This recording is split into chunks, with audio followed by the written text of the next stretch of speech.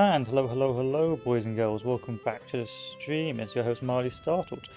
Um, we are today is uh, weekend, so first we're going to do is we're going to be enjoying that.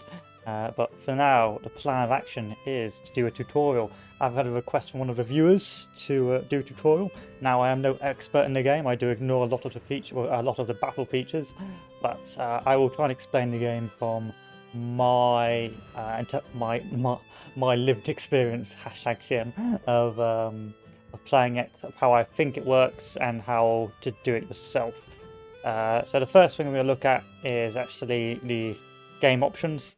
So um, these will reflect. I would explain some of the uh, features here, which will reflect your game, whether or not you want it or not. So you have things like European interventions, of course, I think you've seen it in some previous uh, uh, playthroughs. If you get enough policies in place uh, and if you do enough victories and, uh, apply enough diplomacy, you can have the French uh, or the British intervene in a war.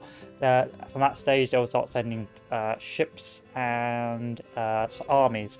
However, it, it, takes quite a while for them to send it to an effective number. Um, normally, it's more to do with the um, national morale hit but if you want that turned off so you're not going to have any European intervention at all, um, you can take it here.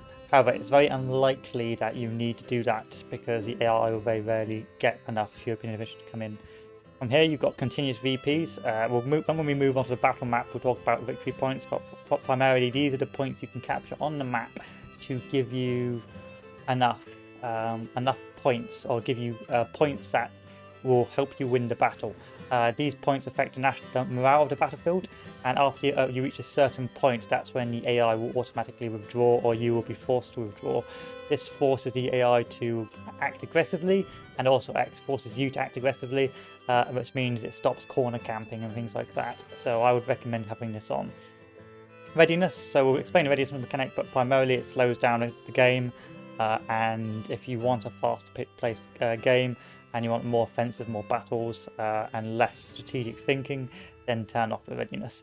Um, but uh, I like to keep it on, it makes it more complex.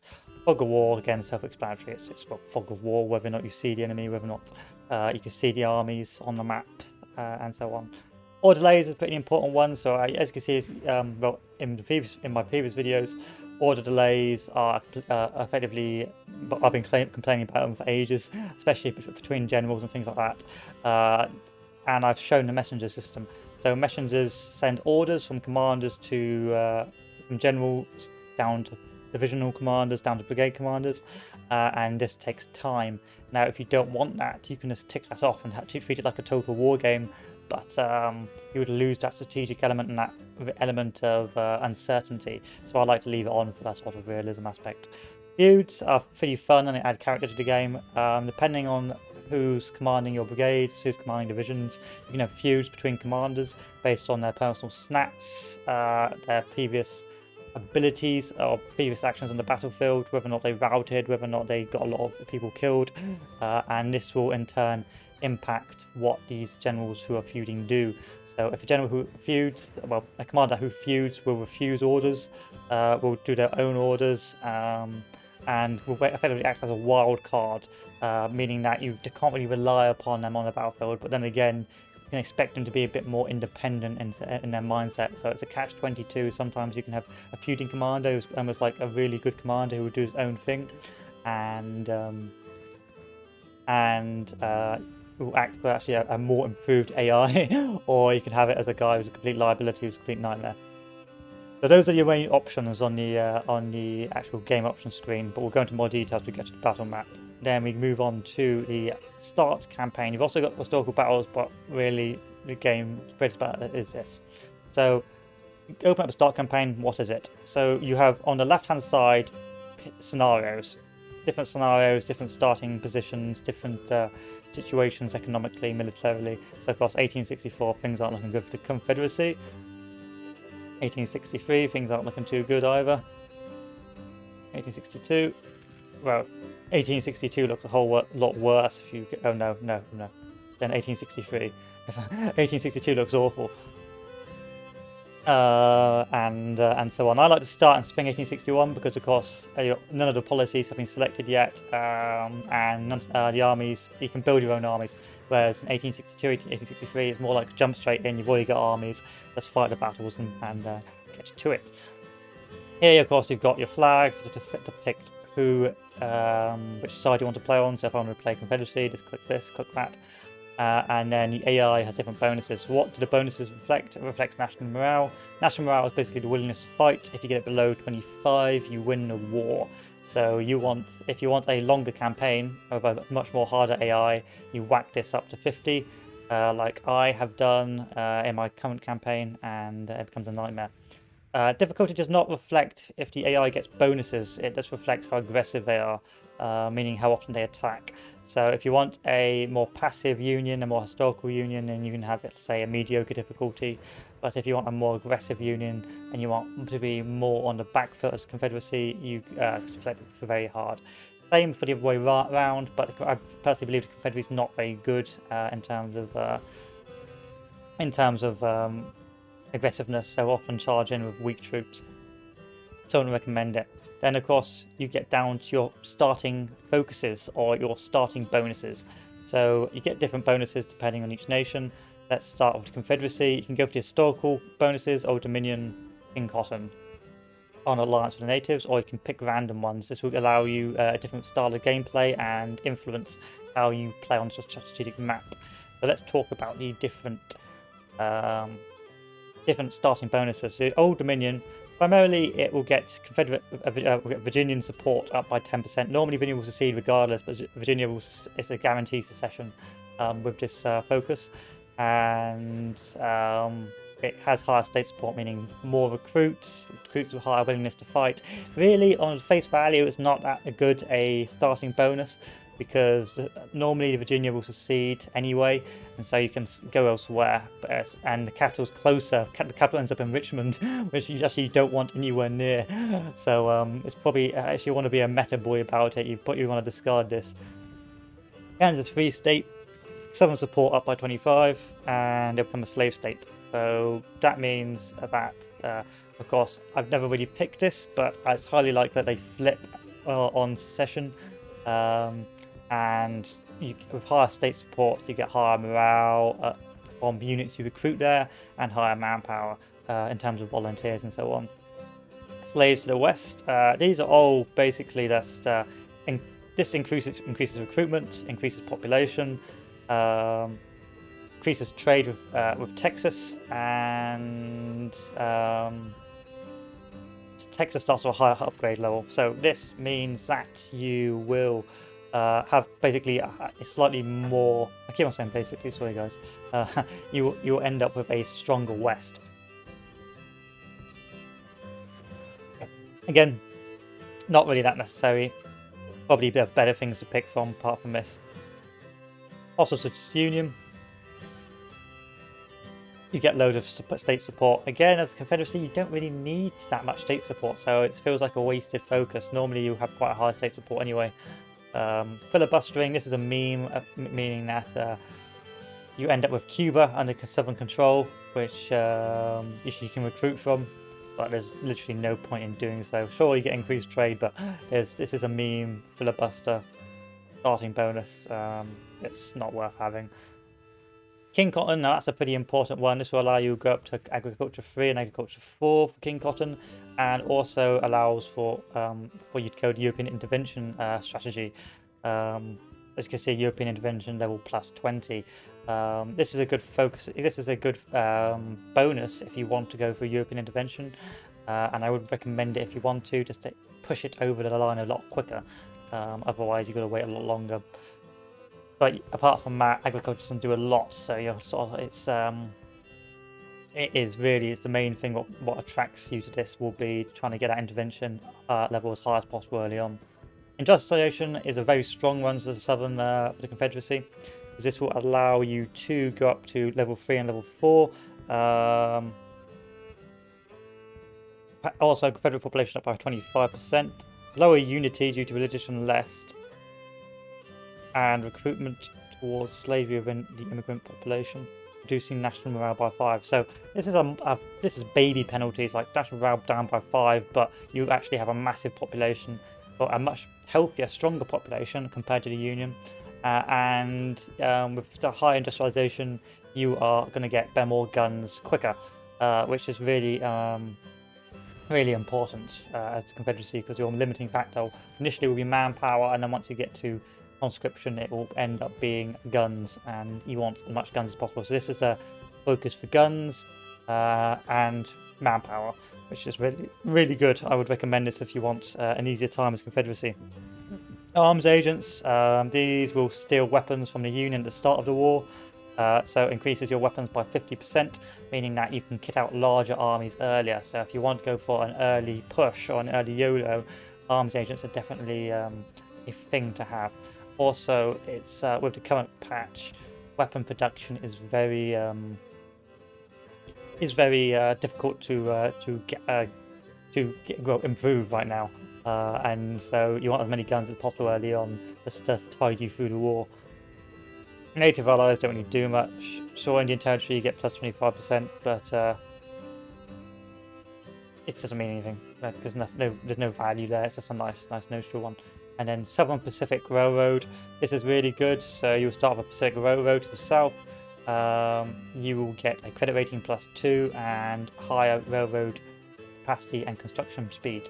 So, so this is really good. It means that you can spend more for longer. Uh, it means that you get increased trade, so again, good economy, and um, construction speed plus 25% means you can grow quicker. So the Holy Three is Industrialization Arms Agents and Southern Pacific Railroad because you have that high industry, high starting weapons, high construction, so you can just explode as the game goes on. Um, if you're going for more just a, a diplomatic approach, then King Cotton, um, I would go for just uh, arms agents and even industrialization or have a spare boy at your disposal. But really, the, the, apart from those, the rest just feel like a wasted slot because sure, it's nice to have higher state support, but most of the state supports will be higher as Confederacy anyway, so you don't really need it. Um, especially if you intend to win the war earlier. If like you get 1864, then let's be honest, boys, you're, you're, you're going to struggle. But anyway, that's the three. That's that's your uh, that's your policies, uh, and then we'll move on to the union. So the union policies are a bit more count, uh, almost what's the word, almost like countermeasures to the Confederacy, uh, just to stop whatever bonuses the Confederacy has. So Underground Railroad is the obvious. This is very good in the long term because an annual reduction of minus minus five percent of slave workforce. Of course, Confederacy is supposed to have most of its uh, economy from a slave workforce and most of its production. So if you can do that, you can reduce its production, reduces uh, the Confederate economy uh, in the long term, which of course weakens it over a longer period of time. So I would recommend the Underground Railroad definitely. Uh, Kansas Free State, yeah, this is just um, you click this to stop the Confederacy getting it. Basically, it's a it's a wasted it's a wasted slot. It's, uh, it's, it's, a wasted slot. Kansas is too. Uh, it's not got a high economy, not got a high uh, population. It's not worth it. Go west, plus 25% population in California and Oregon. Ohio state support in California and Oregon. Improvement made possible in said states. The trade capacity of the Santa Fe and Oregon trails doubled. Never really we picked this one, um, but it looks interesting to have. I mean, very rarely you have such a large Western campaign. Um, so um, again, manpower isn't really a big issue for the Union. It's uh, actually pretty uh, excessive, so there's no need to pick bonuses to manpower. So I guess it feels like a weaker version of, say, breadbasket or industrialization. So I wouldn't, I wouldn't go for this. Support abolition. Official support for hardline abolitionists will make sure that any Southern sympathies within the Union Southern support in all states within Union. This is a, a, a, wasted one as well. Confederacy will always start with very high state support. There's no point picking support abolitionism um, unless you're going historical uh, because it's just a wasted slot. Sure, it's a nice little minus 10 to the Confederacy's national uh, state support, but it's not necessary. Forced Neutrality Act that will against that was a stop the Confederacy yeeting over and taking Cuba. This, this is more of a countermeasure against uh, the Confederate um, bonuses. This greatly improves European uh, intervention, uh, European relations, which you don't really need for the Union because you don't need European. Well, you can't have European intervention. Uh, you just you, just aim to get um, Antietam, the uh, what's it called? Not Abolition Act, the uh, uh, you know what I mean. Um, but you just you pick that policy and it, and it goes. Breadbasket. This is good if you want to go agriculture, but why do you want to go agriculture when you can just go industry instead? Industry is much more important because you can actually get guns from it. Agriculture, you do not get a lot from, uh, so I wouldn't recommend it. Industrialization is always a given as a union. So you have more railroad lines, more population, uh, lower level unity minus five. That's a, a, really petty low reduction in unity, and allows you to go industry three, industry four, which is a high, which you really, really do need to speed up subsidies and speed up construction. So I would recommend this always as at least one of your slots. Um, security measures. This will stop the Confederacy having 50, well, basically reduce Confederacy weapons by half. This is a bit OP early on um, especially with the current patch, meaning that Confederacy West won't have any guns, any decent guns, so you can just roll over them. So security measures is a tad OP. Um, again, this is uh, this feels like if you want to crush the Confederacy early, which is really pretty easy to do as a union. Continues to policy of relocating indigenous tribes. So you get plus military experience. Uh, uh, but, for both sides, uh, and plus Union Morale, so this is a wasted slot as well.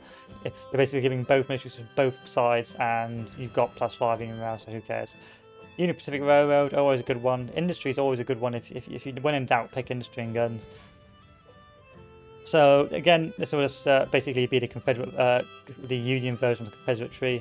This will give you plus 2 credit rating um, and plus construction speed.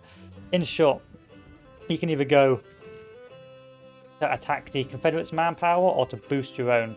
So you can. I tend to go this fellow, uh, Union Pacific Railroad, and say Underground Railroad. So I get my own boosted industry, my own boosted construction, and I also reduce the Confederacy's um, Confederacy's um, production and, uh, and economy via the Underground Railroad.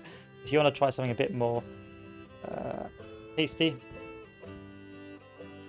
uh, if you want to try something a bit more OP, you can go say security measures, industrialization, um, and underground railroad. So you start with a really gimped confederacy. It's actually a really powerful uh, bonus. Or if you want to try something a bit more different, you can try this fellow just to keep the uh, Europeans at bay, even though they very, very rarely get involved. Um, Union Pacific Railroad and go west, and that's, that's a meme. That's probably a really bad build if you if you, if you want to gimp yourself. Um, but sometimes you want to gimp yourself just to give the Confederacy, uh, a chance. So the historical focus across these three, which are very very powerful. Um, but well, which is very powerful. This is not powerful. This is not powerful. But um, so this will give you a much more balanced game of the Confederacy. But those are your main policies. Normally, I don't really. I had to look at some of these fellows because normally I just don't even bother. I like looked at them once and thought these are garbage. I immediately moved elsewhere. And so, um, really, the big ones are this fellow, this fellow, and this fellow. Um, or if you want to be OP, this fellow. But still, let's start new as a union. We're just going to talk through the UI and things like that and discuss it from now on.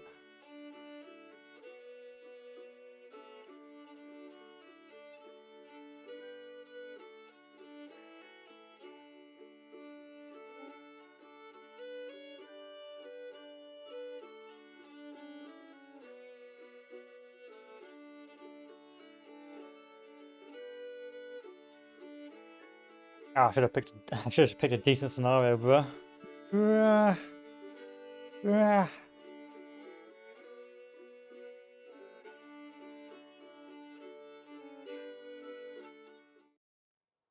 Yes, yes, yes. I know. I know. So, here's the campaign map. Pretty self-explanatory. Red denotes Confederate states, blue denotes Union states. On the left you have messages, for example, when people arrive places, whenever they're withdrawn, uh, and you click on the messages to speak, uh, listen to them. Date on the top left, number of ma fielded manpower, current income or treasury, current expenditure, and debt rating. You don't really need to care about these two things. All you really care about is the debt rating. You get debt rating below B, um, you can no longer recruit more men, buy more weapons, or build further ships, which means that uh, you you get your growth halts. Not too bad as a union, but as Confederacy, it's pretty pretty big oof if you're trying to keep on keep on par. But um, you don't want that high. You want to keep that credit rating above B. Sea transports. So these denote uh, if you want to do traveling by sea, traveling by rail, traveling by uh, river transport, for example. Uh, I don't have an army right now, but if I did have an army and I right click down here, I could pick the option select by railroad. Then they would move our railroad down into their destination. This, of course, would then use up some of this capacity. And uh, and if we've got too many armies moving or too uh, the armies are too big, we won't have enough capacity. This, of course, can be reflected by um, the economy uh, any starting bonuses. On the right, you've got your menu. Yeah, the obvious map information, uh, command and control. So when you click on a unit, it will show a command and control radius. So if you click on an army, so I don't have an army yet. Let's actually play this along. Uh, and show you your field of influence. Movement arrows shows you where you're going. Telegraph lines, so you can see telegraphs act as um, orders. So this is where it, so Washington's the base, orders go up to there, and then these should hit eventually a general. Um, you don't have any telegraphs, so the telegraphs are pretty backwards. It reflects how long it takes for you to move your armies. I need to pick a policy, don't I?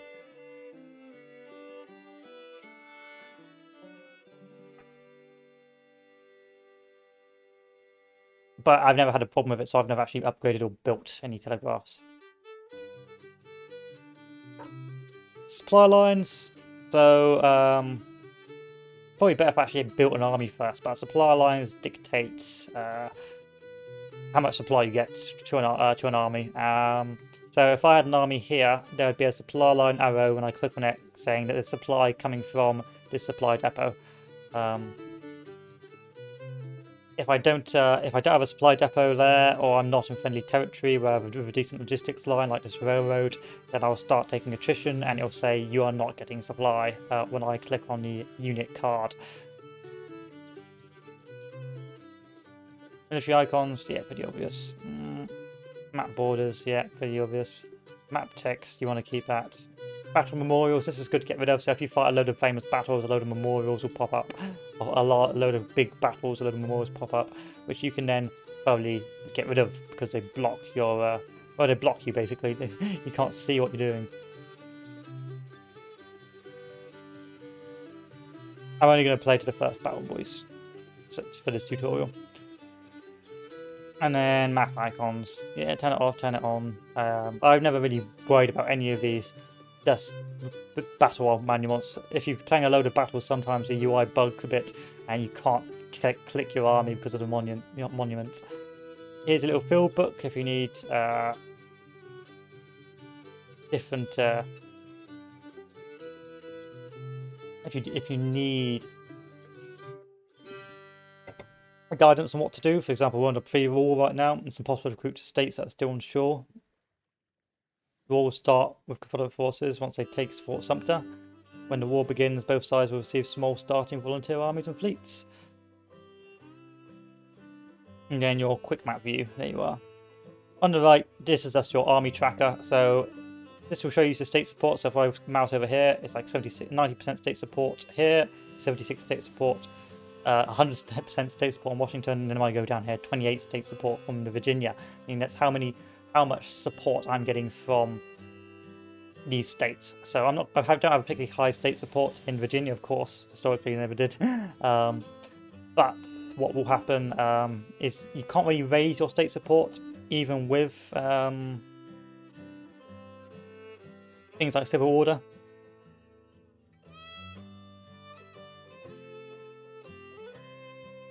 But what you can do, what to go to that is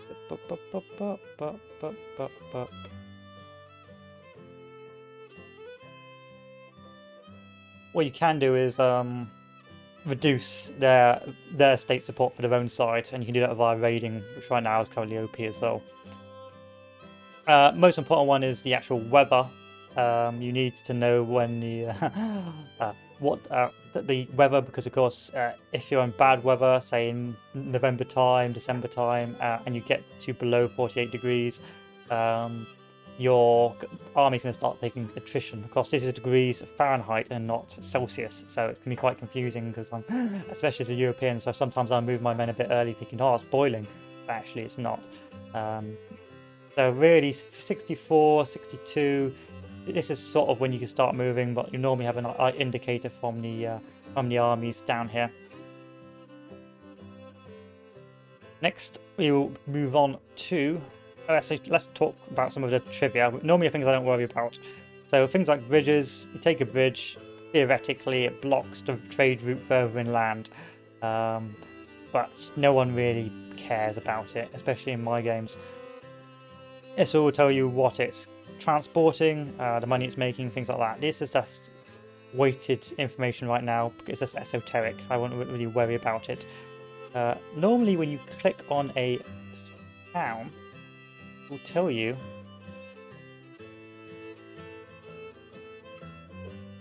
if you normally click on a town, it will tell you uh, it will tell you something about a town, like what's producing, things like that. You can't change what's what's what's producing. You can't change what it adds to the game. All you can do really is um, take it, uh, which of course will uh, bolster your ability and reduce the confederacies, or reduce your opponents. Uh, supply depots, this, these supply armies, you can build it via uh, um, the army options, which we'll show later. It will tell you what is in the depot. So a lot of people speculate with the current patch that because you're building so many supply depots, the guns and weapons are going into supply depots. And so that is why you're not getting weapons. But you need supply depots, especially in early campaigns, um, because without supply depots, your armies will starve and they will become useless. So you need your supply depots to push further down into enemy territory and build larger and larger armies. Forts.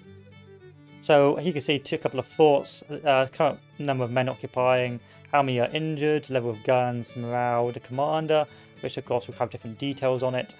Uh, readiness, of course, it's high readiness of fort, its level of supply, um, ammunition. So when you go to, into the battle, how much weapons, ammunition your soldiers have, provisions, so if they're starving or not, and forage, so things they've managed to capture from, uh, well, it's for horses basically. Low forage, low quality horses. Uh, down here you will see the situation, so you have different multipliers, so you've got telegraph, so very quick orders. Uh, bad weather, so they'll take some attrition, especially when if they move. A status, what they're currently doing, their intelligence, so if they can see around them. Um, low intelligence means you won't know exactly where the enemy armies are, and this will mean that you will sometimes stumble into an enemy or you'll see an enemy marker, say, here, but you'll march down and you won't engage because actually the enemy army is over here. Um, this can be changed by things like civil order um, and um, higher deception, uh, reconnaissance, uh, there's higher quality troops in your armies and a level of training. Untrained troops perform worse, um, but these get trained over time if you stay in one place um, and don't move around. Normally, you'll get your training up over winter time when you're not going on the offensive. Then you've got military. Uh, wait, we've got your strategy tab. This is going to be a, a really general, basic tutorial because uh, I'm just I'm just doing it as a, a courtesy. So this hasn't kicked off yet. So actually we'll uh, come back to this. We go to the military tab. So military tab. On your right you've got your many filters. Uh, if for example if I want to find a name of someone, I don't know, McClellan. Well this is for armies actually, so this will show you armies and forces. You can turn off say garrisons and just have armies. Um, and this will show you the different garrisons and different forces which uh, which you currently have at your disposal show the commanders, uh, the history of engagement, and uh, to show commanding unit info. So, for example, if I look at this guy, he's got uh, no fame, he's unknown. So this may affect his. Uh, this may affect his ability to control uh, commanders further down the chain of command. They may refuse to follow him.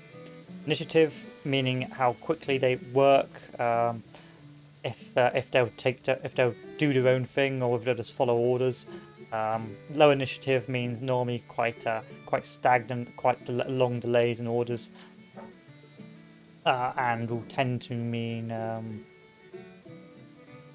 uh, tend to mean they'll just do as they're told. Whereas high initiative, the AI commanders will do what they want more, uh, and will normally pre pre uh, pre act on your orders, which means that of course they're much more uh, much more effective at getting things done. Leadership is backwards, so this will of course affect morale of the men. Uh, administration. This is things like training and supply. So you want a, a, a command of high administration so that they can be trained quicker. So McClellan's a good example. Very cautious commander, but very good at administration, meaning that you can keep him in as in charge of an army and just build up the guy's uh, control.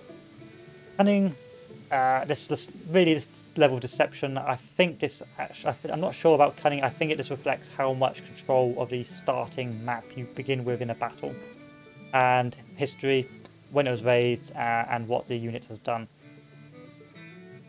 So down here you can quick build armies. For example, if I want to quick build a soldier, I can click on this and click apply. I can't right now because of um,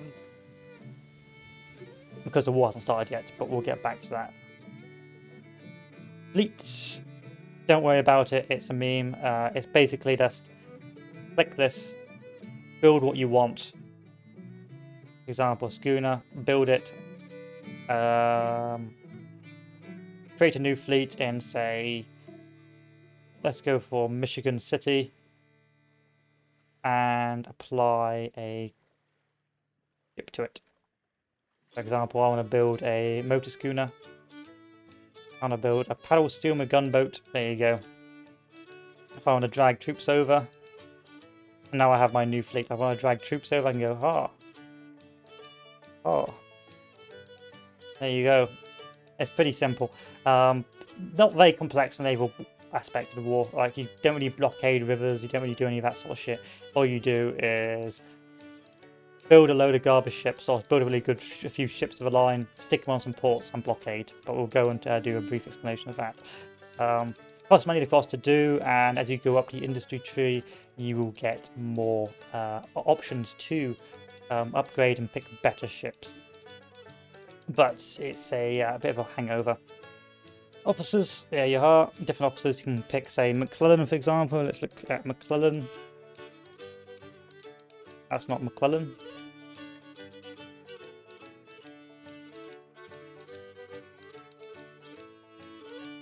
Don't know where he is. Uh, I guess he'll turn up later. Again, it's a bit buggy, but you. He will turn up later. Let's not worry about that. In fact, we'll get to actually the war kicking off before we continue on.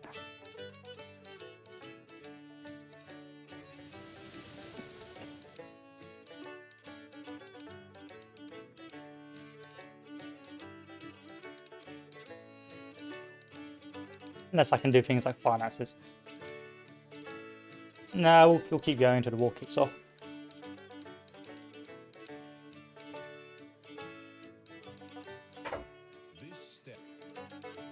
Okay, so now we're at war. Let's pause the game. I'm just going to build up one small army. So where? So for example, let's look at McDowell.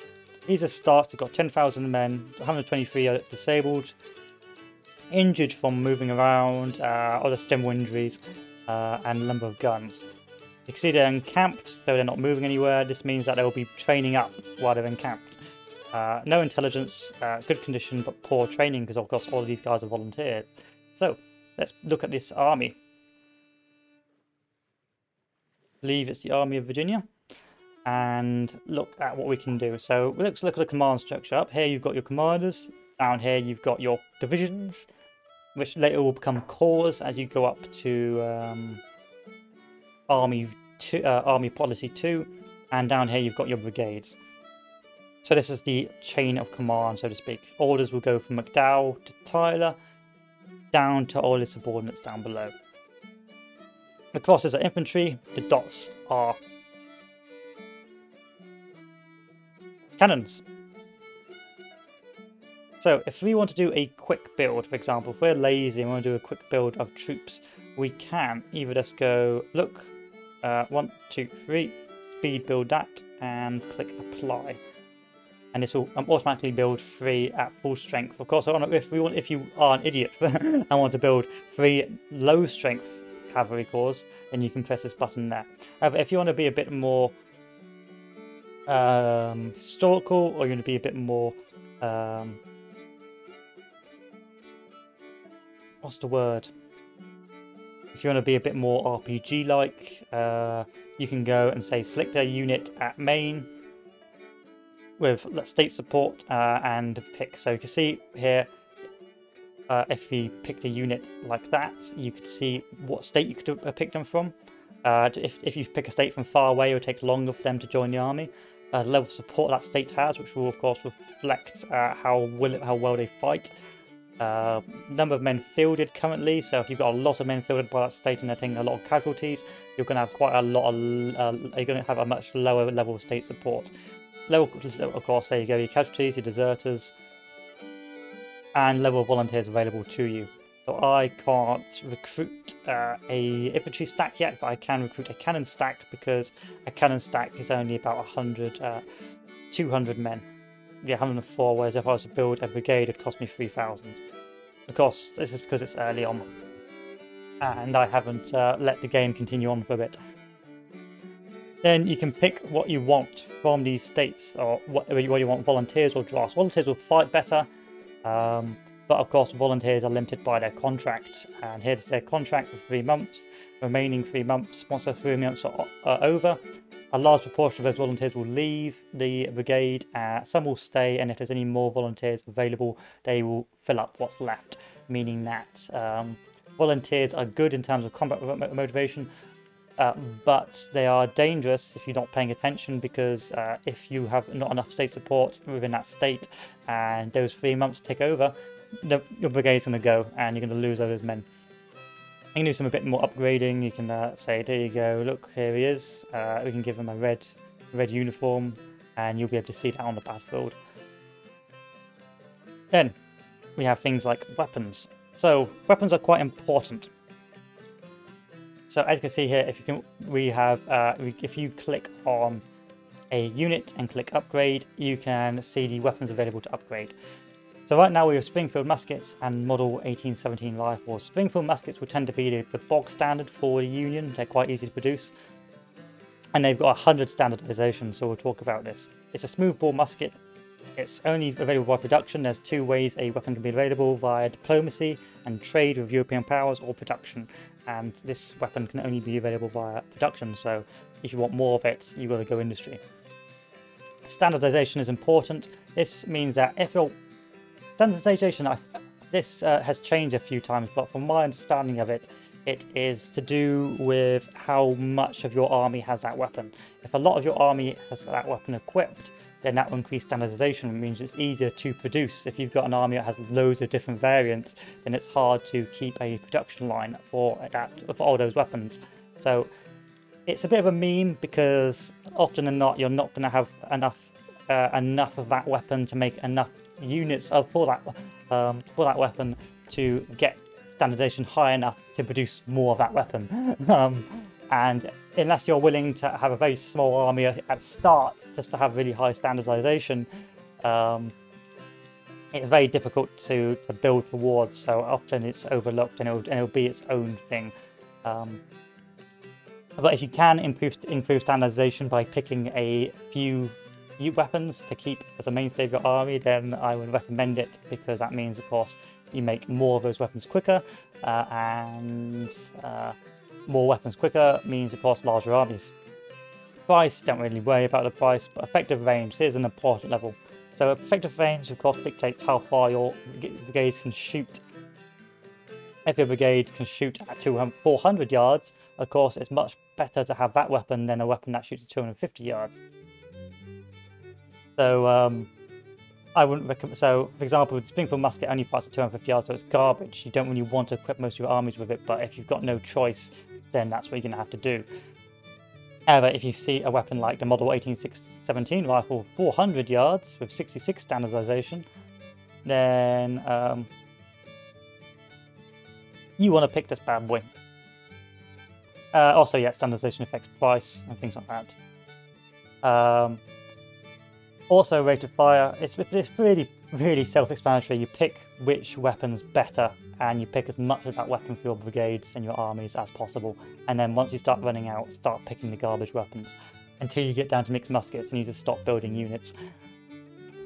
So for this guy, we're going to pick the Model 1817 rifle, and cavalry, you can have a few choices as well. And there we have it, a pretty easy built army. Um, if we want to change things around, let's say we want to change McDowell with um, oh no, Sherman or Grant. We can go on to here, pick Grant, and you'll be able to find good old Grant right there. So, again, here's your stats. Uh, because it's 1861, no one's really heard of him yet, but you got high, you got fairly decent fame, fairly decent initiative, okay leadership, uh, good, okay administration, okay cunning which will uh, get better as it goes on. Uh, as you can see, it's already going up over time, which I believe is either random uh, due to combat experience or um, due to historical um, historical reasons. For example, Lee's always a really good commander. Uh, uh, McClellan's always, always, always, always a very good trainer, uh, and Grant is pretty good as well. But as time goes on, these guys will go up better or worse, and it'll be up to you to keep an eye on them, normally on a battle, uh, and pick them. So, for example, pick Grant to be in command. If you can't be bothered to pick all your uh, all your uh, weapons for your armies, just click the upgrade button, and that will automatically do it after selecting the highest level. So, if I select Grant, pick upgrade, all of these will be upgraded. If I select New, New Jersey Militia, select upgrade, all of those will be upgraded if possible.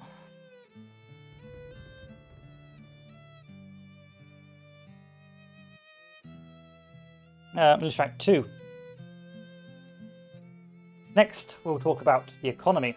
Now, the economy is very esoteric. It's a load of gibberish uh, right now. Uh, all you have to care about is this, credit rating. This will go on in the background. Uh, there's not, not, much you can change about it. You're at war, you know. uh, but if you want to care, on the left-hand side, you've got your tariffs, um, sales. So this is the money you're making. This is the money you're losing you can't really change much. I mean, it's not like you can't spend money and lose the war because you don't want to break the balance. Uh, it just tells you how much money you're spending is a bit of a, a bit of a, you know, here you go, a, a bit of a, bit of flavour. I'll tell you things like the uh, economy, like if it's improving or reducing because of the war. Uh, normally, you can't change that. Uh, it will just, it'll be a meme. Uh, it will just sometimes, it, it will just do its own thing. Um, Unemployment, 10%, again, doesn't matter. National debt doesn't matter. Interest rates. This does matter to a little extent, uh, to a small extent. If the interest rates are too high, then of course you won't be able to ever pay off your debts and you end up in a slippery slope and your credit rating is all that matters. But this will just keep going down to the minuses as you build your armies, build your weapons. Uh, so this is just really all you really care about is those interest rates so you don't end up in a slippery slope of constant debt and a debt a debt circle and credit rating. Here, if you really want to make more money, you can tax the hell out of people with tariffs and sales income and things like that. But uh, for the most part, you just want to have taxes as high as possible to come up patch and then focus on subsidies. Now, subsidies are the important part. So, what are subsidies? These are things you can spend money on to give you higher bonuses, higher uh, to construction of industry, uh, diplomacy, um, and recruitment which means, of course, means higher impact and uh, more manpower quicker, um, more weapons quicker, um, uh, better transportation, uh, better uh, better supply in home territory, faster, and so on, so on, so on. So the politics one, you spend money to get more policies, which are here. We'll go on to that in a bit. Uh, but they cost money, so you don't want to do this yet. You want to use up all your policies first, and then you want to go, okay, time to uh, time to spend the money. Um, So right now I've got one of eight policies. I'll, I'll wait till I have eight policies, and then I will go. Okay, I'll add. I'll add three more policies uh, at the cost of 100, 1 million, one million dollars. Diplomacy. This will keep um, British intervention and French intervention down, um, and it will also improve the rate you get European weapons. So good to have if you if you're worried about European intervention, and also if you want to bolster your forces via income, uh, via diplomacy.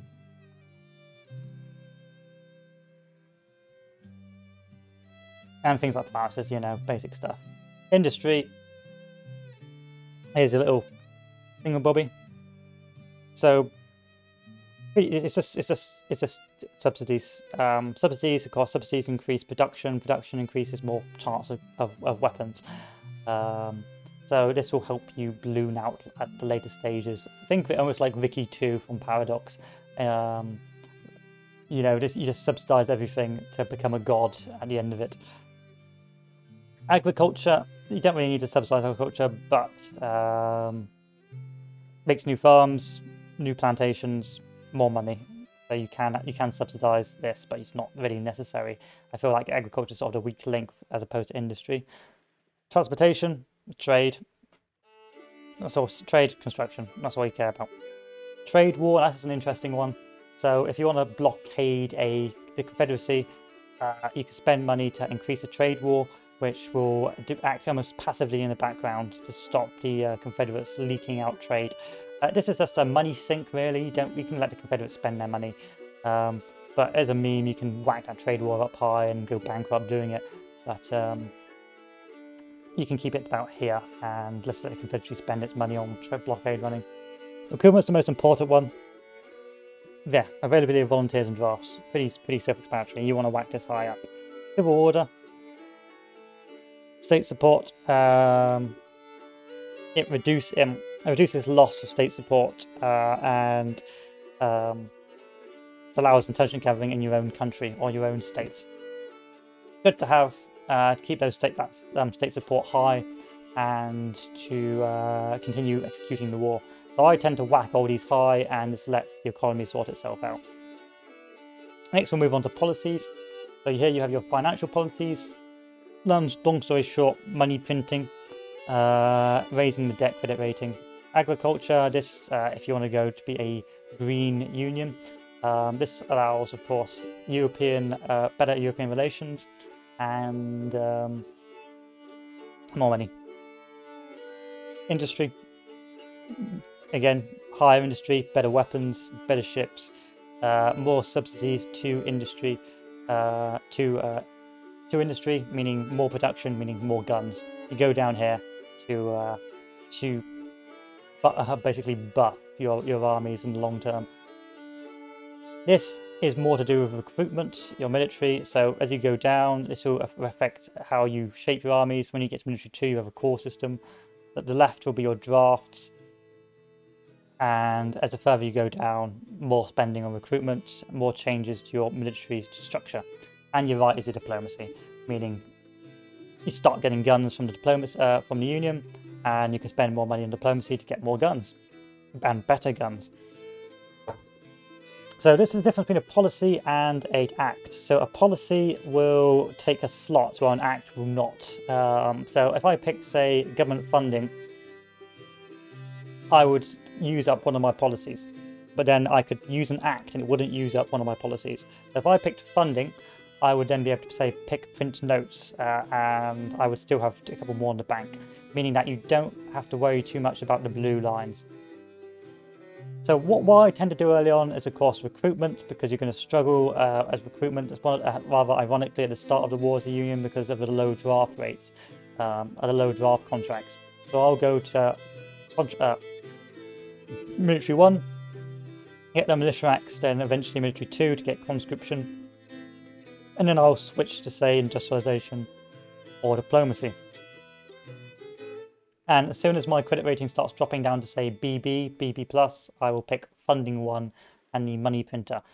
These every act every act has a has a penalty, but often you won't really see the penalty. For example, if I print notes, I'll get a load more money. But public wealth will be reduced by 10%. Who cares? like, I don't care about public wealth. I mean, I will get loads of money, uh, which will keep my debt rating high. Now, if I say pick the, where is it? The oh, Emancipation Proclamation, I will get higher state support, higher national morale, but uh, the Confederacy will as well. So each act has its own, almost its own penalty. Very few, um, very yeah. Every act has a, cost and a balance. It's just that the costs, um, the cost and the benefits, but the cost is just not important.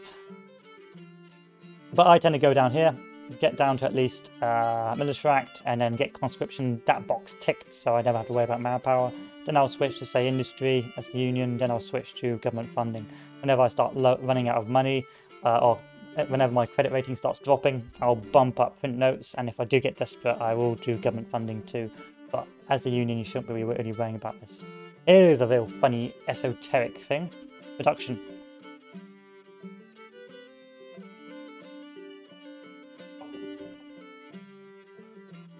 Here you have a, a, a, graph to see how your production is going. And you can see every single thing, bit of industry, uh, and uh, the level of production within each state. How efficient they are, uh, how much they're being taxed, their value, uh, slave ratios, how many slaves they have there. So apparently in uh, Montgomery, Alabama, they have, oh, let's do Union they've got 40% slaves. So, for example, now if I, if I have the Underground Railroad, they're going to start losing those that, that slave workforce. So here we are in New Haven. Uh, let's see, in Hartford CT, we've got a workforce of 10, slave ratio of 0. This is what they are producing. Guns, weapons, uh, steel, is that steel? And uh, value, how much they're being taxed. So again, you don't want particularly high corporate tax during the war and their efficiency. So they're not very efficient right now. They're just probably starting up. This is just a good keep track. So if you want to keep track, just keep track of uh, how much your production is going up over the years uh, and how many profits you're making. uh, right now I'm making no profit, but uh, hey, yeah, it is what it is. Uh, and this will work itself out. So you, this will eventually just keep going up uh, unless you're getting actually ravaged by uh, invasions or war, or your economy just keeps on blockading and keep on keeps on getting blockaded. So it's not really something you've got to keep an eye on. So I very rarely do, but you can, if you want to, you can see you can see see what it is at the start of 1861 and see what it is by the end of your campaign. And then your goods and trade. So what your goods you've, uh, you have and uh, the import value. So things you're importing, things you're exporting. For example, if I click on this bad boy, uh, oh no, it's actually actually pretty pretty pretty basic. Uh, so here you go, artillery. If I click on, uh, let's see, artillery ammunition. Uh, let's go Union. I believe this time period and the amount of money I'm spending on it. So, for, I mean, uh, artillery, this is the amount of money I'm spending on it the average price, so it'll tell you about how much it's going for, the demand.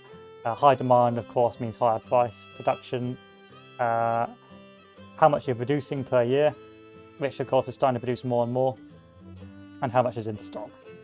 And then, of course, imports, exports, how much you're exporting to the uh, to Britain, and how much you're importing from Britain, um, and uh, the different trade routes.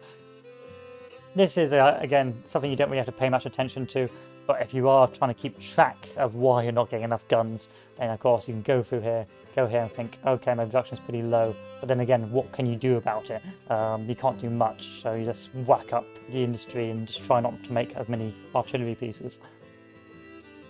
But it's just a nice way to see uh, a, a grander scheme of things going on. So let's move on to actually looking at the armies. So we have on the table on the left things like intelligence, condition. Really, only thing you have to worry about is condition. If the condition gets too poor, these are auto routers and readiness. Readiness is very important, and you build yourself up over time, and the rate you build it improves as uh, your troops get better. So readiness reflects how offensive you can be and what things you can do. At low readiness, you are completely defensive, unable to move, unable to build things, uh, unable to use things like forced march, and just generally just a complete uh, liability. Sometimes you'll just automatically be pushed out onto an automatic route. Um, mediocre readiness, you can stay on the offensive stance in enemy territory, but you cannot move around enemy territory, and you can build stuff. So this is really the danger area once you see readiness. If you're in this sort of readiness when you go onto the offensive, um, and you end up stopping, start building depots and waiting, because if you get to this level, you will just starve and you'll be forced to withdraw. Uh, amber, this is where you can start moving around in enemy territory. For example, if I click this bad boy, I can start moving right now. Uh, and green is like full readiness, you can do force marches, things like that. Down here is the different stances you can use. So the offensive stance meaning that you engage anything and attack anything in uh, enemy territory or any, any territory whatsoever. So for example, if I move the offensive stance down here, they will immediately move to take Alexandria. And then they will move to attack the Army of Potomac. Defensive means that they won't attack unless they are attacked. Uh, these guys will just hold out at Washington, and if you move them in a defensive stance, they'll try and avoid engagement, so they won't try and take Alexandria, and they won't try to engage the Army of Potomac unless the army of the Potomac has an aggressive stance, then they will engage. Army orders, so different things you can do. For example, you can do guarding for your cavalry. I've never really picked this. Um, stops routed men behind the battle line. It reduces desertion. Guarding cavalry will not fight as units in field battles. Okay. These are just little, little things you can have as bonuses as bonuses uh, at different costs. So here we'll just stop desertions and stop. Um, but then you lose your cavalry. Cavalry, guarding cavalry will not fight as units on the field battle, so that's a wasted slot. So that's probably why I ignored it. Raiding. Raiding allows you to uh, burn everything in enemy territory, uh, lowering state support and damaging things like supply lines, things like that. Very good in things like Virginia and high industry areas for the Confederacy. It will damage their state support for you, but also damage their state support for the Confederacy, meaning that actually you don't really it doesn't really matter for. Um, it's very unlikely that Virginia is ever going to flip in your favour, so really just want to damage Virginia enough that it has no longer support in the Confederacy. Currently broken. Uh, you can't go uh, offensively and take towns and cities when you've got the raiding mechanic on, uh, but you can still fight in battles. And then you have your scouts. Improves intelligent gathering, pretty, pretty much pretty obvious. And then these cavalry corps will fight in the battles, but the units spread out.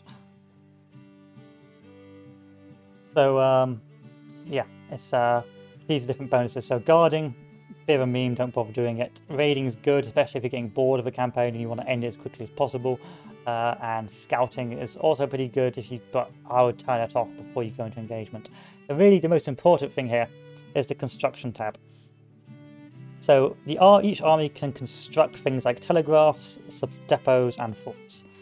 Telegraphs, uh, as I mentioned previously, will reduce the level of uh, delay between order, the orders process. So once I send an order to him on the campaign map, it'll be quicker for him to move around. Not really necessary. Uh, you can wait around. Uh, armies will generally slow at this time period, so you don't really need to build telegraphs. What you want to build is depots. So a depot is very important. Um, a depot supplies your armies and um, stops your army starving. So what we're doing right now is we've just clicked the depot and we've just put it down there. Now, because it's in our sphere of influence, which we have two spheres. One sphere, I believe, is for uh, area control, and here is potential to reinforce. So if you've got following armies nearby, uh, they have a potential to reinforce you in battle. So here you can see I've put this down and it's been constructed in 19 days. Once you've constructed it, you can click on the on one of these bad boys and upgrade it. Right now this is a fully upgraded supply depot, but the higher, more upgraded it is, the larger it can support, um, the more troops it can support. So if we click on this army here, we can see where these guys are being supplied from. See it's being supplied from the bridge or from the river line.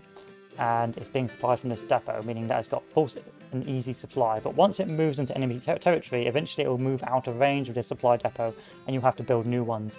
Meaning you, eventually you have to stop. I can't just march all the way down to Richmond. I've got to stop along the way, putting down supply depots before I advance south. Of course, supply depots can be taken, and if you take it, you can uh, take enemy supply depots. You take their weapon supply. Uh, for example, if I destroy this guy in this battle right now, I could knock this guy out of any nearby supply depots and you'd have to build new ones or starve. Meaning that you, if you uh, can continue an, offensive uh, and you can keep pushing enemy back, you can eventually just overstarve the enemy.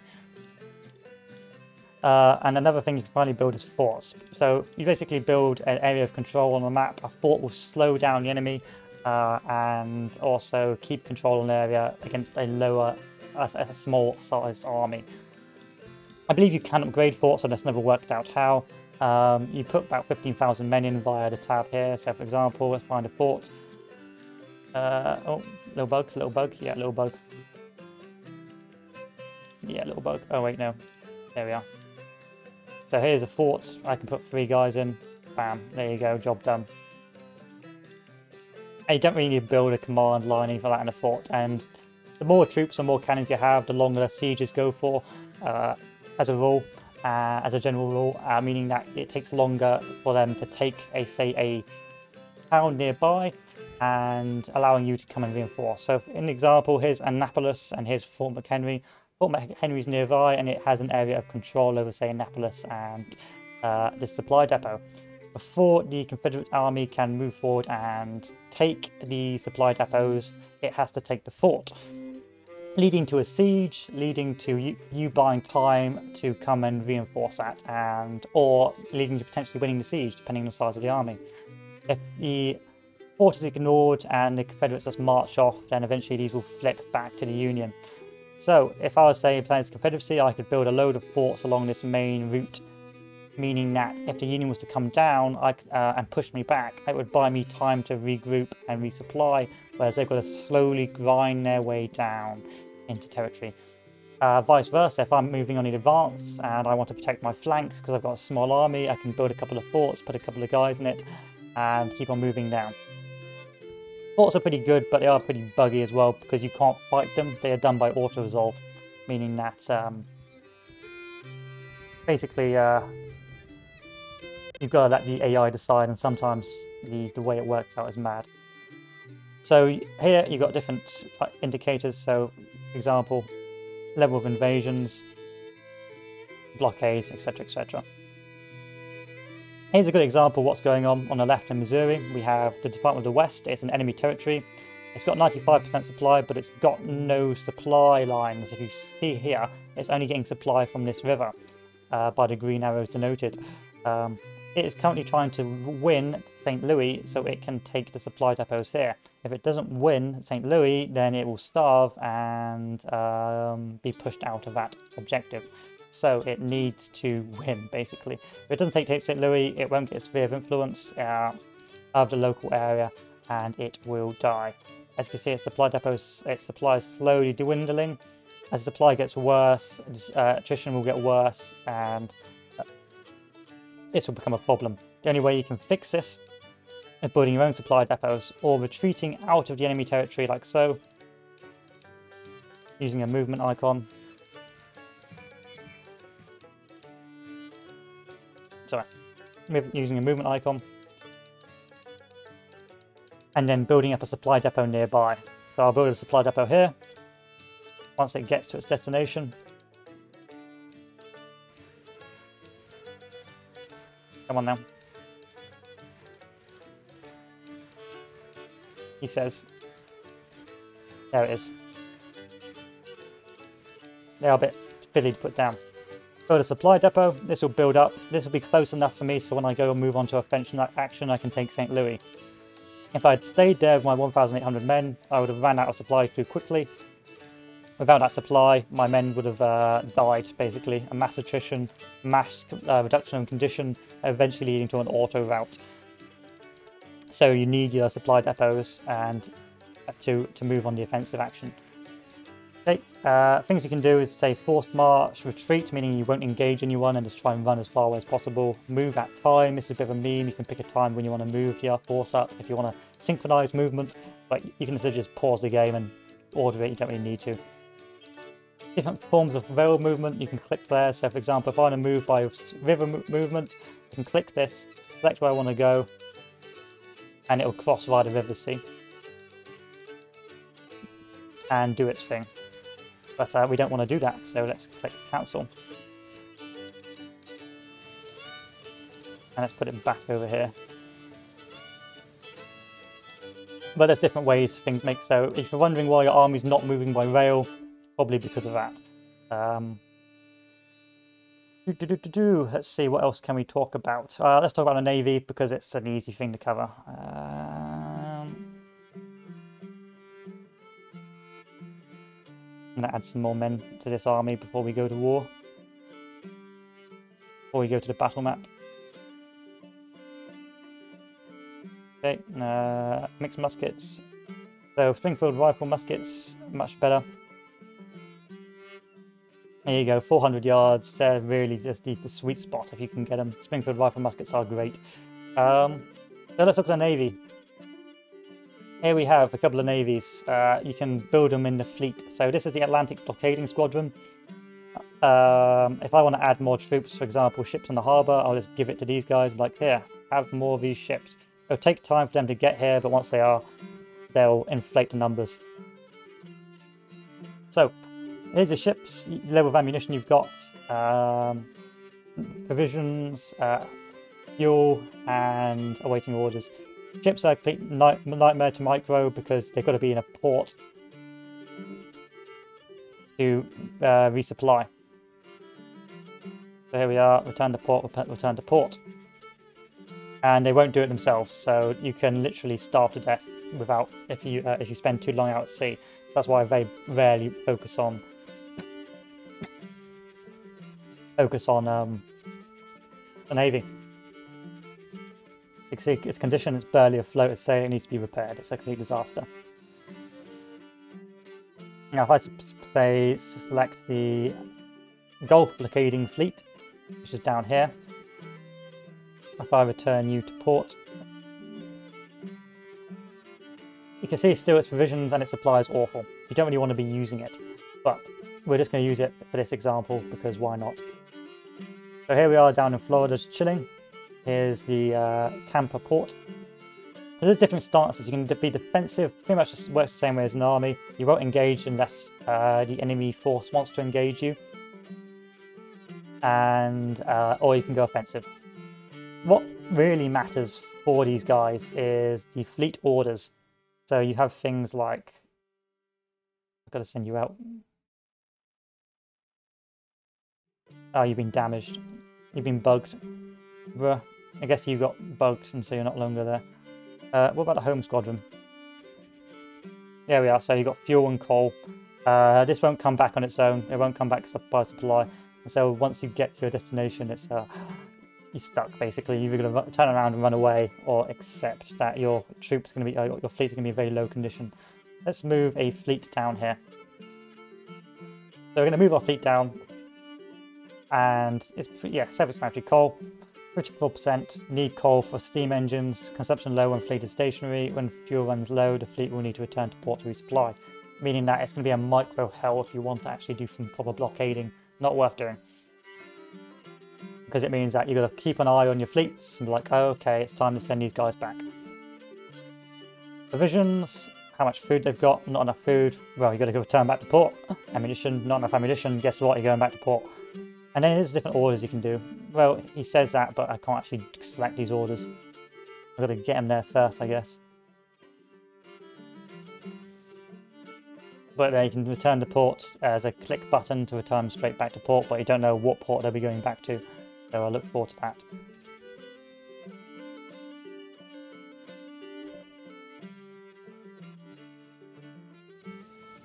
Oh, wait, wait a sec. See if I tell him to stop.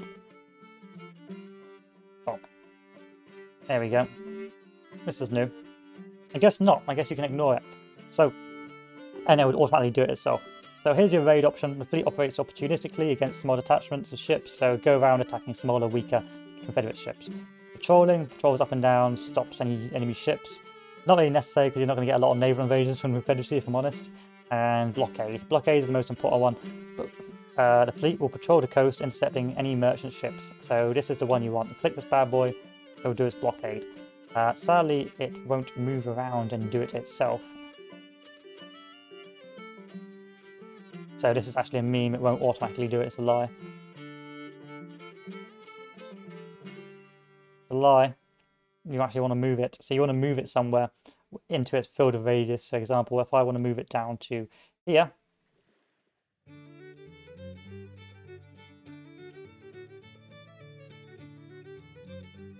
and all ports within command range are affected. So move it down. Just take some time. As you can see, it's as tedious as hell. Get as close to these ports as possible.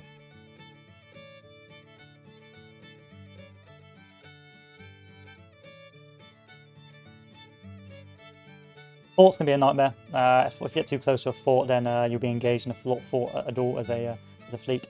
Then I select blockade, and these will start blockading now.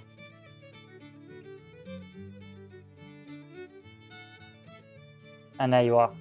It will now do its blockading. Now, because this port, this port, uh, this port, and this port are all being blockaded, they will no longer be functioning correctly. You've got one Washington blockade, you've got Hampton's blockade efficiency, Annapolis blockade, etc. etc. But they should pop up soon with uh, this guy blockading as well.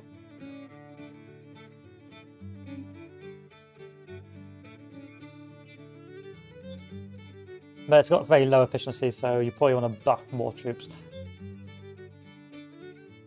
Sadly, normally you could click on this and it would take you around, but there you are. Now you can see these, these guys are taking damage. Um, I highlight this. There you see, blockades and raids, cumulative losses and tax revenue, 245. Now if I go for a couple of days, let's go for another day.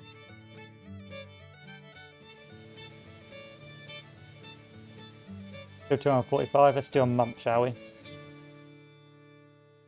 Probably because Fort Monroe is already here doing blockading as well, so that's probably why it's being such a nuisance.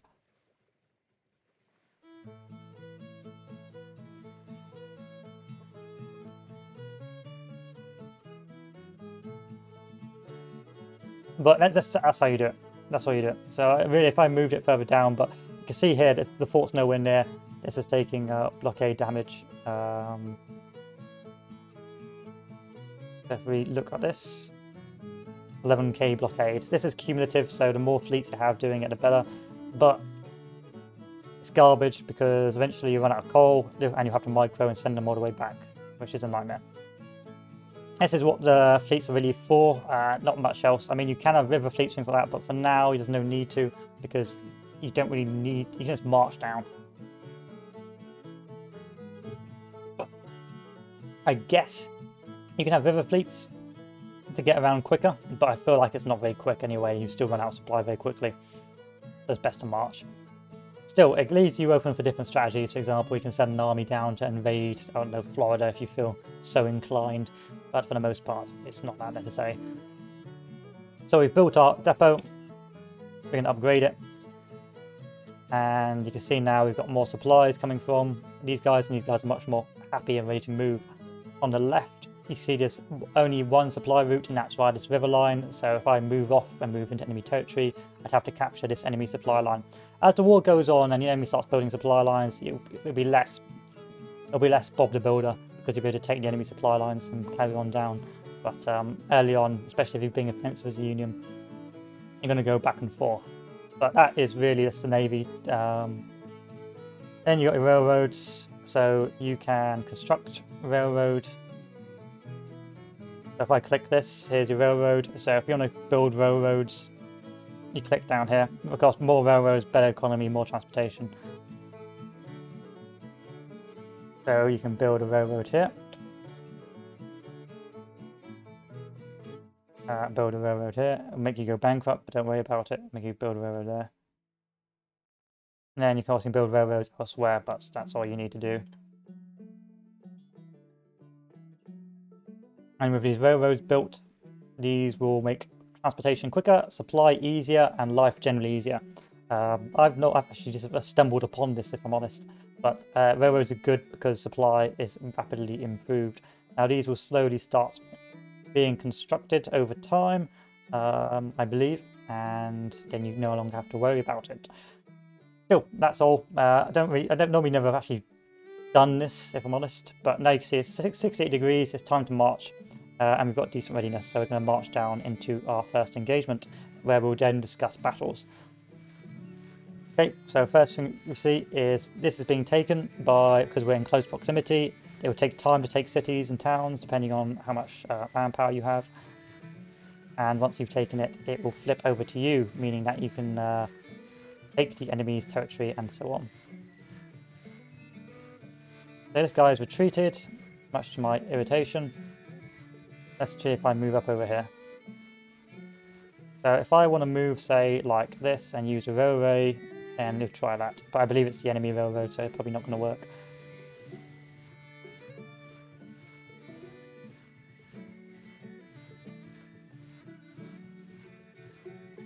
We're taking our sweet time trying to move around.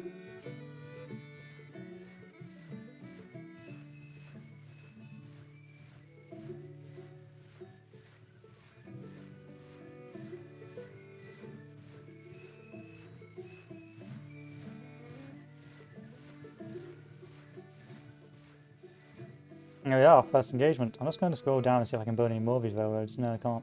Okay, I guess these little red marks indicate uh, enemy control, meaning that you can't build and develop these railroads because the enemy is in the way, because the enemy owns this territory. Now, if you captured along the railroad, you could build it, but now you can't. So we've gone to our first engagement. Pretty clear how many people on your side, how many people on their side. If there's any enemy reinforcements, they'll tell you and how long it takes to get there. Uh, and the number of troops you have at your disposal, and who's fielding the first main army. Click this button, it'll take you, take you where you want to find the enemy and then you have a choice. You can play the battle, you can auto-resolve and let the, uh, the game work out for you. Go to defend, basically meaning that you move on to a siege engagement uh, with a variable sort of soft time limit to see how long it takes before you win. This will allow you to move more troops into the, into the theatre on the campaign map before the battle starts. But if you leave it like this, then you're probably going to end up taking a lot of casualties. Then you have, uh, this is good uh, actually if, if uh, armies don't reinforce in time but also bad insofar as that it's not uh, optimum because the enemy can also reinforce. Withdraw, so withdrawals are limited retreat back uh, into rear areas, which will mean that uh, you uh, potentially can retreat back into friendly forces, uh, but it's a bit RNG. Maybe your AI can will retreat down here instead. Um, or the complete retreat button, which is basically a, a larger withdrawal, perhaps taking you back to the, to the start of the state. Uh, these buttons are good. Withdraw is good. Uh, withdraw, uh, retreat's also good if you want to get out of the state as quickly as possible because you've been starving to death. Um, but play battle is where we're going to go now to show you guys the next step.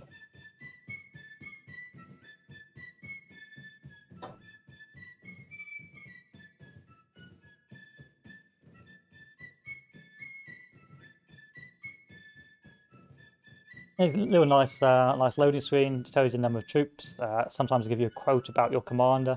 Um, there you go.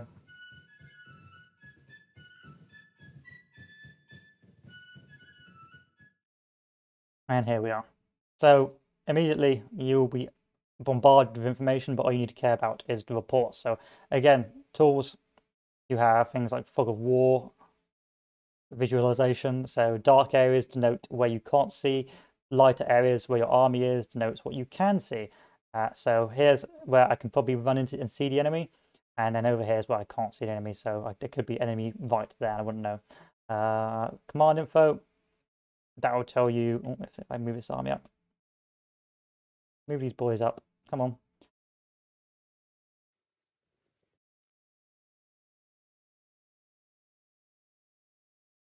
There you go. Command info. So here's your lines of command. So I know that Grant has all these subordinates and then all these divisions are all subordinate to these guys. Um, this is good to keep track of who's where and who's what early on where you're trying to work out who's in charge. routes. Um, this would when you're moving, basically, we, uh, icons, ranges. So ranges of engagements. Uh, so example here, we've got cannons on the left. That's their effective combat range. Um, and yellow, if I turn it off, there you go. You can no longer see that. Uh, and the dotted yellow, if you can just about make it out, is what this what range they've been ordered to fire at. So that's like medium range, which I can change with uh, orders later on. HQ. So here you have reports. This will tell you generally uh, general information about your armies. For example, consolidated overview. Click on this. Who's in command of this army? How many corps it comprised of? What divisions it's comprised of, and so on. Then of course you can do the same with the Confederacy what's its cause, who's in charge, uh, readiness, basically just their level of ability, bearing in mind that this can, um, um, their willingness to fight and so on. So I might actually check that next time I play my Confederate campaign to see how willingness the Union are to continue on the fight. Um, but it's just more, you're not going to change much about it. It's just uh, more to keep an eye on it to see if uh, it's being affected. So you can see its level of training, its readiness, and the intelligence gathering. Uh, condition report, this is more to do with general condition of its men, horses, so how many troops you've, well, just, just general state of, of combat rate of fitness. Again, you're not, it's going to be pretty apparent, you, you, this is going to be pretty obvious and pretty apparent to you on the map. Um, if they're flashing red, then these troops are probably going to have a low, uh, low, a low condition.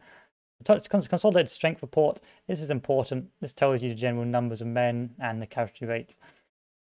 So if you're taking a lot of casualties, you uh, and, but if you, if you think you're taking a lot of casualties, you open this, think ah, maybe it's time to withdraw, uh, and you can make a decision there. Combat report, uh, just level of victory, so how many kills. If you want to see who's done the most damage, you can select, say, Stuart's cavalry, see the number of total victories or total per people killed and see, ah, oh, this guy's killed loads. And then command report. There you go. Leadership, just general commanders. Fame, leadership, initiative, and just like to see who's got a better better army. Then we have here second button, which is messengers or the starting message. Uh, which will give you an even more general uh, presentation of events. So it tells you who you're facing, tells you the guns, tell you the morale, and tell you the willingness to fight. And then over here, your capture points, which is pretty important. Keep an eye on it. So here's your capture points. Uh, and if you click them, they'll tell you where they are, so you know where to move forward how to, um, for your campaign. Next, we're going to start going through our armies. Ba, ba, ba. Come on. Oh yeah, go there. So here's our forces. Uh, if we start with the army of Northwestern Virginia, the commander uh, with Grant, it will tell you the number of men of total army, number of losses he faced, the number of guns, another quick way of, of watching it, and the general morale of your army. Uh, if the morale is pretty fucked, then uh, then it'll start saying, you know, unstable, uh, panicking, that sort of thing. Uh, you can reduce it down and increase it, and if you if you press these buttons, you can go up and down the order of battle. So for here, this is the highest, but if I want to go down to my corps, I can click down and start going along my corps. So here's the first division, here's the second division, third division, fourth division, and so on. If I want to look at my cavalry, I go down even more, and I can start picking between the units. See who's in charge, and see what weapons they have equipped. Alternatively, you can just click this, and start clicking up. So if you don't know, if you've got infantry brigades everywhere, and you don't know where they are, who, who, who their commanders are, you can go, okay, up Oh, there's the commander. Here's a general order. So let's take a look back up to the main HQ. Here you have a list of things you can do. On the bottom of left, you can order of battle, and here's a list of what your armies basically order, well, the order of battle for your army. Um, the AI stance, how the AI will act will be aggressive, whether it will be attacking, defensive, or screen. Um, I never really clicked any of these, but I just think it just gives the AI a bit more of a a uh, its own sort of logic and whether or not it will do its own thing within its commanders. Here you have infantry squads. Well, here you have different orders, mostly ranges on the left, and then the little things your brigade, brigades and divisions can do. So on the left, this is like long range, short range, close lanes range. Uh, I normally order my men to fire at long range because um, you just do generally more to eight. Otherwise, you're just wasting the, the, the range on your muskets. On the right, things like lay down against cannons, skirmishers to fight cannons, uh, and I believe this is uh, rally. So, for example, these guys will have a rally order, um, which will set the. Oh no, this is charge. Okay, it's is charge. Uh, so, charge is um, you just click the enemy and click charge. Uh, or you can do Alt and right click uh, and they will charge as well into melee. But uh, laying down is good and skirmishers are good. Charging, I'd never use it. You normally would bother using this button. Uh, for cavalry, you've got the same thing. So you've got cold steel, charge them with sabers. Uh, scouts deploy a small party of mounted scouts, go around spotting for you, evade. Uh, if you've run into any enemies, they'll try and run away, and so on mounting, so get them off the horses. And if you get them off the horses, you can send them to loose formation. And then set them to lay down if you want, and just treat them like a skirmish troop. So this is a way of developing your troops up, uh, setting up your brigades and giving them uh, and improving them. Uh, go tell these guys lay back up, stand back up, possible. Go on, stand back up. Okay, so a bit, bit, bit, bit bugged right now. They'll stand up after. Um, yeah, so these are little things. I would recommend uh, treating your cavalry like really OP skirmishers. Uh, so as soon as they get into engagement, if they've got these different musketoons, get them off the horses, get them into um, skirmishing and begin engaging. And then, of course, your cannons, you've also got your own orders here. On the right. Bombardment never really used it but apparently it's supposed to be really good if you've got like a concentrated enemy line. It takes a while to build up. Click a place click the enemy and it will bombard. Uh, counter battery fire. This will focus the ai to fight on the enemy artillery. Uh, fire will let the ai do what it wants and limbering will tell the uh, ai to get back uh, to get the cannons back on the horses next we have our commander's orders so this is things like allow AI initiative, allow the AI to do its own thing. You can turn this off and hopefully the AI will just follow orders its own, uh, using its own, uh, just as, as exactly as, as you tell it to. And on the right, it will um, have different things that relating to the AI logic. For example, using high ground, using high rows, using cover. Detaching, you can detach units from its command and it will act independently. Not really useful. Don't really bother using it, um, but it's nice to have if you've got like a corps all the way over here there, and um, it's um, it's struggling, uh, and it's and you're struggling to get orders to it. Rally, here's the rally. So the commander will rally the unit. This will increase morale, but also order delay. So if you've got low morale in your troops, you can have your commander start rallying the men. Uh, but at the added cost of slower orders. I may actually use this in my campaign, but again, it's easily overlooked. Building is the most important one. This will allow your units to build defenses. I think only infantry can do it.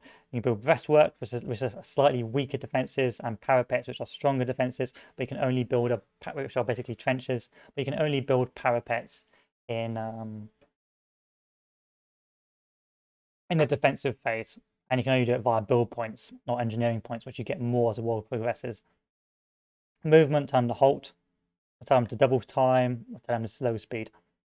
Pretty self-explanatory. Army orders on the right, you can retreat your army, like do it this way, or you can surrender. I would never, uh, I would never surrender. I would retreat always. Um, and then supplies.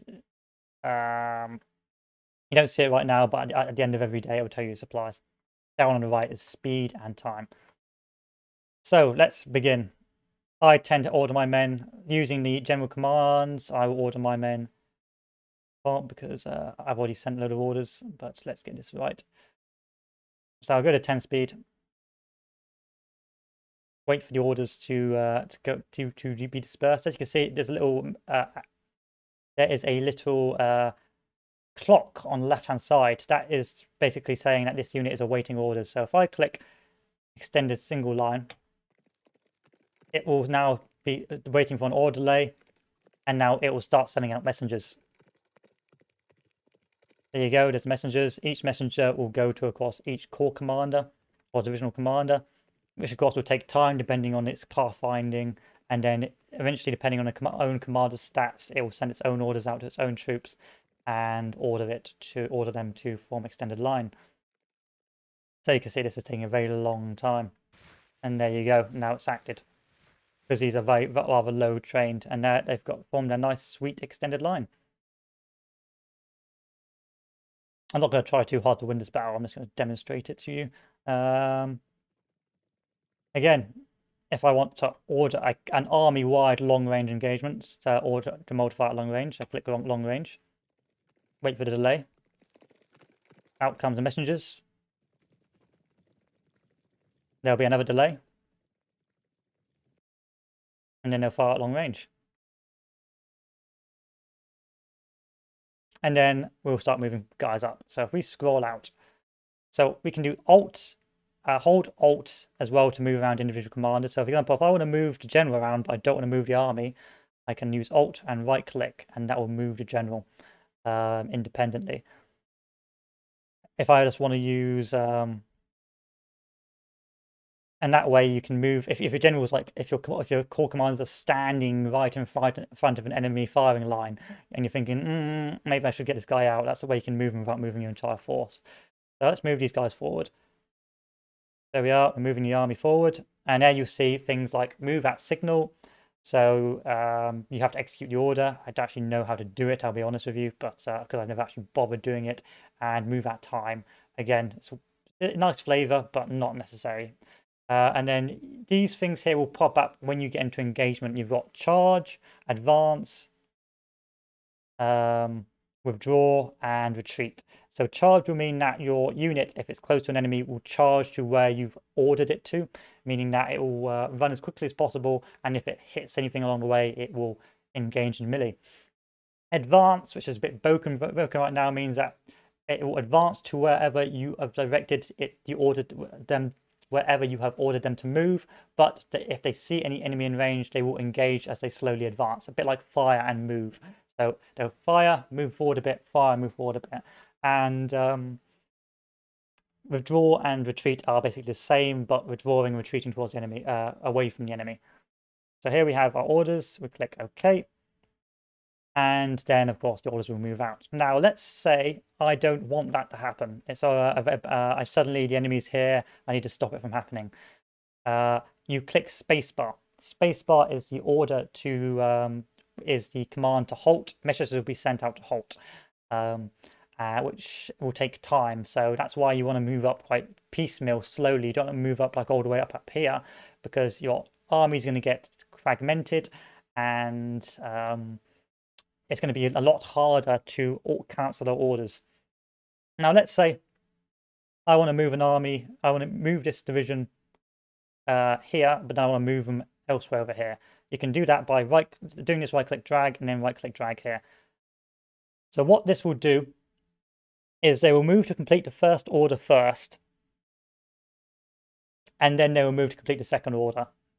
So don't get confused. Don't think this is cancelled the previous order. So if I click this and move this, they will first move there and then they will move there. So it's you're, you're setting orders in stages.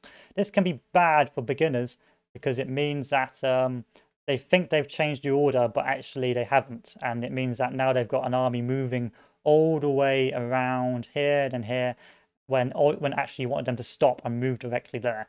Just make them stop. You click spacebar as so spacebar, they've immediately received the order to stop, and then you can we can begin to move them forward again.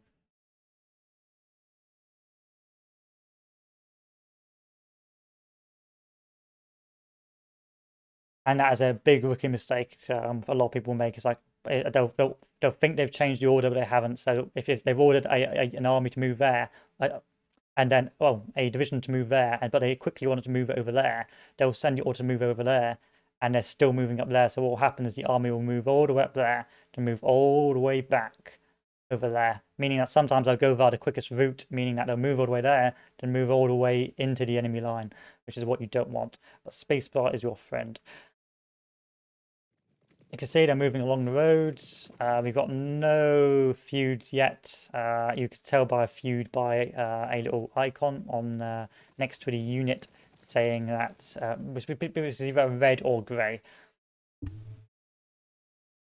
So these are slowly ploughing on down as per usual.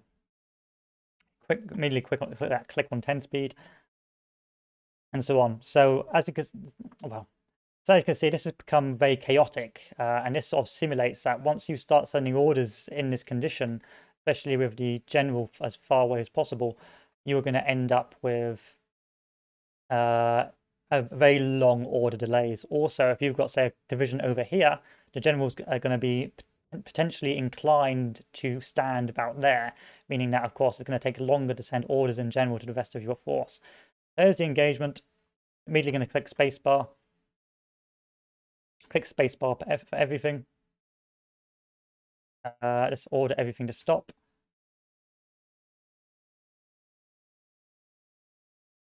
And we're going to wait.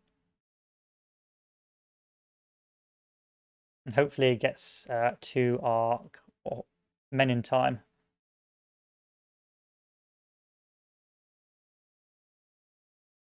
Immediately skirmishes are coming out, which is bad. Can't retreat it back yet.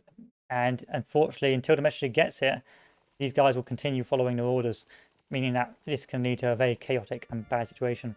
However, this is quite good because of one of one of um, the AI is not completely well stupid. Um, if they are marching into somewhere and they do run into enemy or they do engage, they will stop what they're doing um, and move to engage the enemy. So they're not going to just normally just run into the enemy. They'll oh, they will they will get into range and they will stop and wait for further orders. So this is good, and it's a good way of stopping. Um, and it's a good way of stopping, say, just uh, a bad order, just committing complete massacres for your men. So here's a cannon. Now I could order counter battery, but I don't want to. And we're slowly going to start moving up our line of battle. Normally, early on, I will order via the divisional level. Uh, I'll initially do the initial orders via the general level to move the entire army somewhere, and then eventually I'll start sending orders via the divisional level. And then eventually, once engagement is made, I'll start sending orders via the brigade level. So here we have our cannons moving into position. Sadly, none of these guys ever got the memo to stop what they're doing.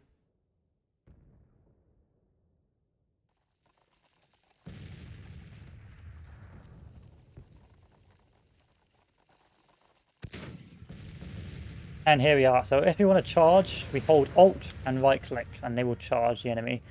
Normally you don't want to charge with just one corps. But uh, hey ho, it is what it is. They will charge into melee and they will immediately rout because of course you don't charge with one cab.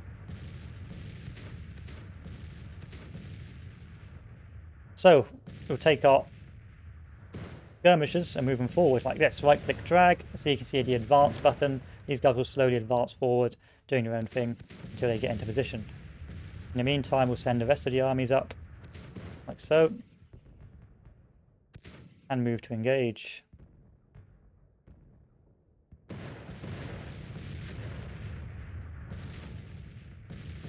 These will all wait for orders before they move forward, unless it's bugged.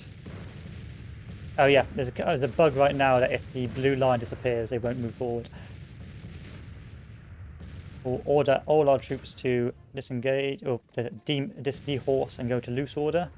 Depending on the order you're giving, depends on whether or not they have to have a, uh, a messenger. Mostly messengers are for movement, so these guys won't need a messenger.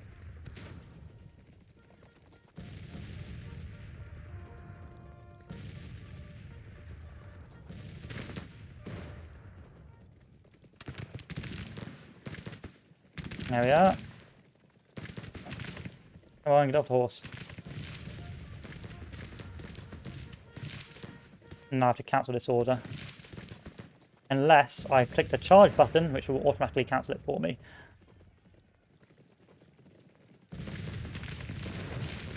Or not. Or not. Let's cancel you. That's why you do have to be very careful and sometimes quite passive, otherwise uh, you'll end up, say, marching into a deadline. Now let's send these corps up to engage. So. These guys should move forward, these guys should move forward, and the cannons should keep on engaging away. The cannons will automatically pick um, grape shot, uh, cannonball, depending on the situation. There we have a bad AI.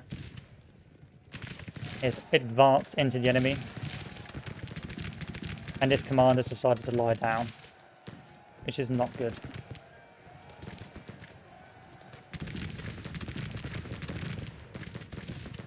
At this stage you want to get on your horse and run away. And charge through it, but uh, hey ho. You can also order right click to move into melee range, or move into uh, firing range, but the bug with that is they will chase, which is not good. Uh, so if this route, for example, they will chase, um, they will chase that enemy uh, enemy unit sometimes into certain uh, certain destruction.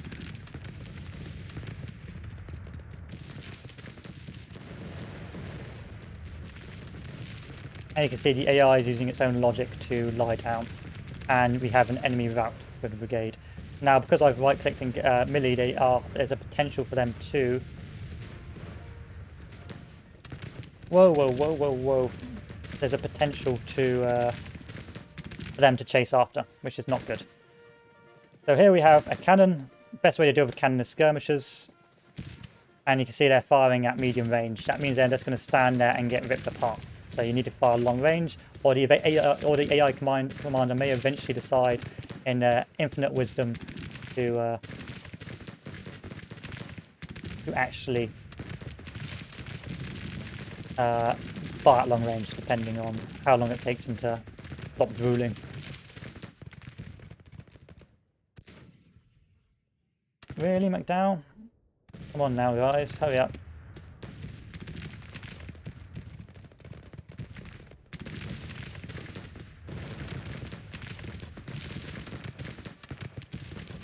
Uh, get on your horse and charge this. Get on the horse. Sadly, we do not have a lot of men in these brigades, but cannons are extremely deadly to infantry, especially frontally. You don't want to, uh, really be engaged like this. Also, a lot of these commanders uh, have a mind of their own right now.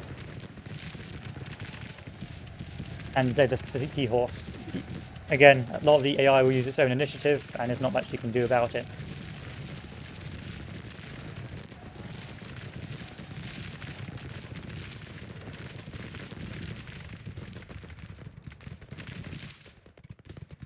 And there you have it, failing right flank. Fortunately, these guys charged, they were quite intelligent. Not intelligently, the... Uh, ah, you know why? I reckon I know why. I know why this AI is playing up. Because of this. The assault button.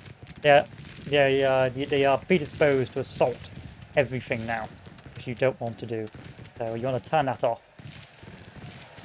And that will make the... That is quite an interesting... Um, interesting... Uh, interesting policy you can do or interesting, uh, what do you call it, feed disposition you can send to your men. But it's not a good idea. Um, it's better just to micro, otherwise you end up with this and the AI just frontally charging and uh, throwing its life away. So that's why that's why they are charging so uh, vehemently because of that.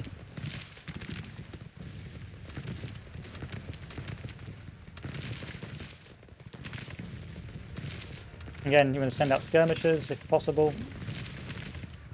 But sadly, it's a defeat. So, this was just a dry run. I couldn't be bothered to uh, try hard too much because I didn't want to wait like two hours. I just want to show you the different features. I swear. But uh, there you have it. Uh, now, with the defeat, uh, you'll be forced to withdraw, and there'll be a time limit for you to withdraw. You will withdraw automatically, but it just allows the enemy time to uh, crush you, so to speak. Um, this is good for you as well, meaning that you can crush them. But um, if I was doing this properly, I would have the cannon moving up behind. I would have, I'd wait until all my units are in position before I moved into melee. I would have flanked properly on the right uh, and use that right flank to drive them off the field rather than um, charging centrally with my cavalry. Still, and then you have your casualties and your losses. And that is more or less a tutorial. But I would avoid using that AI predisposition. Um, it's the first time I used it. That's why so many of my troops were, were essentially charging it. But the AI predisposition is not good because it will just they, it will call it, will make them charge and uh, and act very idiotically. Instead, it's best to micro and have that off and let the AI uh, uh, let the AI have just some ba basic control over um, over the battle. Still, that was a tutorial. Um, suppose I could uh, I could play another battle, but uh, oh, this will end up being a day long uh, nightmare of uh, another Union campaign. But uh, it's uh, pretty self-explanatory. different options. Um, things I recommend for, for cavalry is dismounted skirmishing if they've got anything other than mixed cavalry equipment. dismounted skirmishing and if they haven't, then charge with two or three supporting brigades. Um, infantry, if you come across enemy, can uh, always fire at long range, and um, if you run across any cannons, send out skirmishers because skirmishers beat cannons. Um, and the cannons uh, focus on counter battery. Uh, if the enemy has a lot of cannons, if not, try and set yourself uh, in not in front, but in an opening in your lines or on a hill to fire down on the enemy. Um, because then uh, actually they're very deadly against enemy uh, enemy infantry brigades and actually can be form part of your of your of your forces. You don't need a battery; you can actually have them within your divisions. Um, apart from that, those are the best I can. Well, that's uh, that's the tutorial. There's not much else to say. Um, but um, I hope that's helped you, gentlemen. Uh, we'll now move on to Back 4 Blood after I have a smoke, uh, and then after lunch we'll play a bit of Alien Isolation because I want to play that mini game. Still, someone asked for this um, this tutorial. Now, if you've watched, I, I am a bit salty about losing this battle. I am, I am, I'm a bit honest. But if you've seen my previous videos, my previous campaigns, you know full well that I'm I'm fairly competent at this game. But still, there's your there's your tutorial. Now we're going to see this guy retreat. See, the retreat is currently broken. Is that actually going to retreat further into enemy territory, which is a bit bruh. At which stage, at which stage they will start slowly start losing equipment, and they're going, you're going to need to retreat them back. And because they've got low readiness, they're going to be slow movers and it's just going to turn into a complete cluster. So you want to be, actually do be careful. You just don't want to let YOLO in like I have. And because I originally initially lost the battle, they're going to keep on withdrawing. To end up in this constant slippery slope.